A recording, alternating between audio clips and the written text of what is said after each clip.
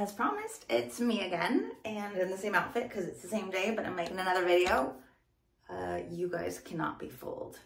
So I, last year, made the commitment to do a video after every newsletter I published. So um, I'm a little bit behind. Uh, and, and now it's May. And so I am going to talk about the one that I sent out about neuroplasticity and habit stacking.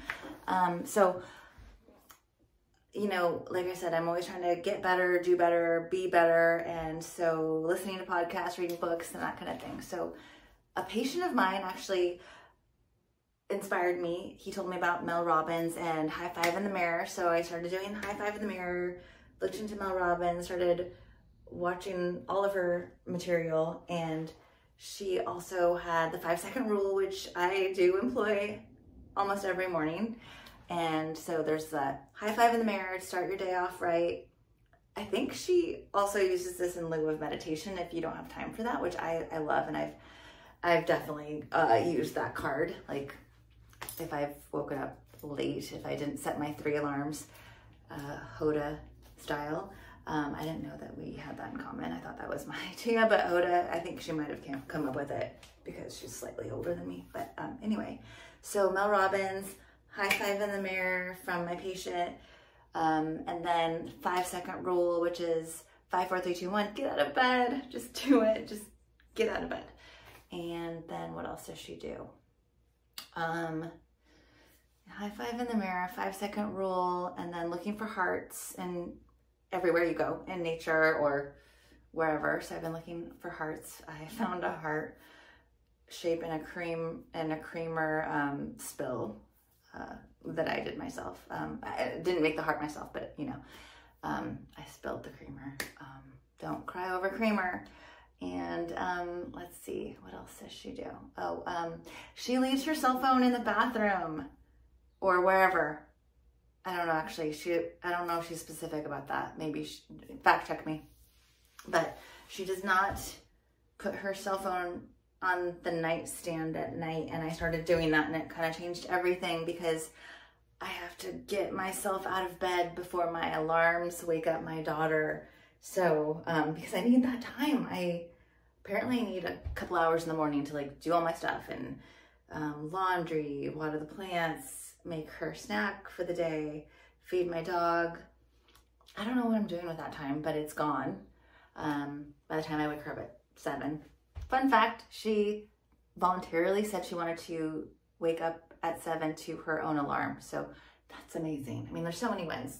You know, parenting has been difficult because she's my, my kid. So it's going to be a little um, entertaining. Um, I, I like to think that if I was her aunt, it would be like so much more fun. And I try to employ that mindset instead of feeling like so responsible, more like I want to be more like a coach or like, you know, guide, um, like not the whiny aunt, but sort of, I mean, if I could be, but it's just not working. So I'm rethinking that. Um, so anyway, what I was saying was habit stacking has changed everything. And so I just employ these tips from Mel Robbins, who gets, you know, the best research, has the best you know, guests, and is pretty fun and funny. And I, one thing that I love about her, and now I'm rambling, but why I like her so much is that she's a mom too. Like she's a, she's been a working mom. She's had, she has three kids. And so I respect that. Like I, I will take advice from you if you've been through it. Now, she hasn't been a single mom, but I think, you know, maybe we're on an even playing field because she has three and I have one and she's got a husband, but, you know, maybe, hmm, so it's, it's all in how you look at it. But, um, so Mel Robbins, yeah, I've been really loving what she's been saying. So, um, my main focus in that newsletter for the beginning of the year was, you know, don't make a resolution. Create some habits, stack them on each other so then it becomes more of a routine and a flow. Because I don't know about resolution. I don't know. Like I feel like they're always a letdown. So, um, and there's so much pressure. I, I like building habits and saying that most days I blah. Think two out of seven days, maybe on weekends, I wake up at six instead of five. And then I don't usually have time to meditate or pray. So then I definitely make sure I high five myself in the mirror and I, I have been doing that because that takes zero time.